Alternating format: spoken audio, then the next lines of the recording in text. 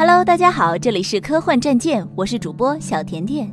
今天为大家介绍的是一部用爱拯救一切的电影《深渊》。本片由卡梅隆执导，上映于1989年。虽然当时因诸多因素备受冷落，但今天看来依然不失为卡梅隆的又一科幻经典。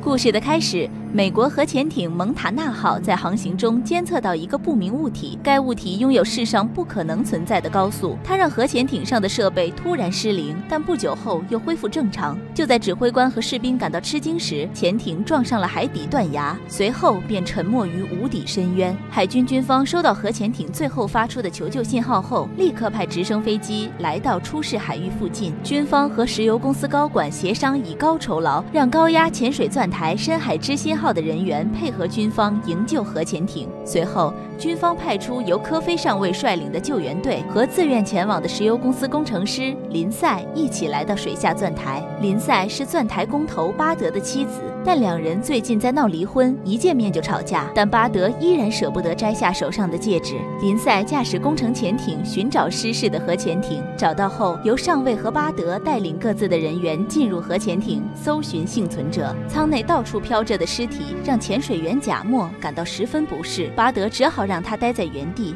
自己继续搜索。却不知贾默被不明物体吓得不小心调大了氧气阀，被呛昏了过去。所幸巴德和上尉及时赶到，而几乎是在此同时撞进了不明物体的林赛感到十分好奇和兴奋。救援队回到深海中心钻台后，林赛和巴德对不明物体的来历争执不下，而上尉却认为这是苏联人的阴谋，于是带人擅自前往失事核潜艇。拆下一枚核弹头，秘密运回钻台。海面上的天气越来越恶劣，狂风巨浪把海面上的搜寻者号的起重机刮倒，起重机偏偏砸向了深海之心号。即使最后落在了钻台旁边，但钻台被撞得遍体鳞伤。这场事故让钻台上死伤数人，还得因探索者号的离开而自行修复钻台。林赛潜水到钻台外修补钻台时，随身的电力又一次无故中断。这时，不明物体又出现了，而且游走后又来了个透明发亮的物体，还敢伸出触手和林赛抚摸。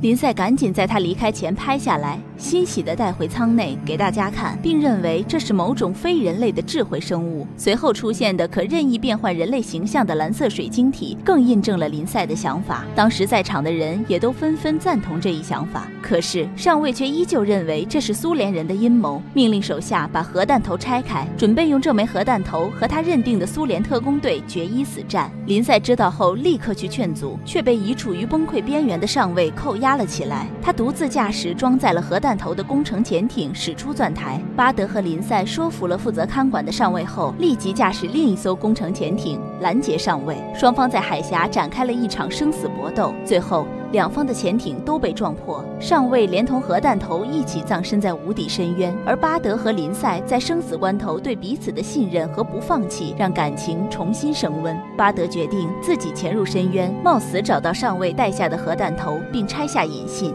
巴德带上液态氧呼吸机，在深海黑暗中一直坠落。在这期间，是林赛的声音让巴德克服了心理和生理上的恐惧，但依然无法避免氧气不足而无法返回的现实。当巴德德给妻子送出最后的遗言，准备接受死神的到来时，却意外迎来了不明物体。他拉着巴德参观了他们海底的绝美之城，最后重现了巴德给妻子的那段话：“早知此行是有去无回，但你知道我不得不来。我爱你，老婆。”不明物体，好吧。此时，该叫深渊生物被巴德的真情和献身所感动，从而停止了操纵海啸对人类进行毁灭的计划。影片的最后，海底之城带着巴德、深海之心号和前来寻找的探索者号一起拖出海面。巴德和林赛相拥而吻，最终是爱拯救了人类。好了，今天的电影就介绍到这里。喜欢科幻的小伙伴们，别忘了随手点赞和关注科幻战舰，每天为你送上精彩科幻电影。我们下期见。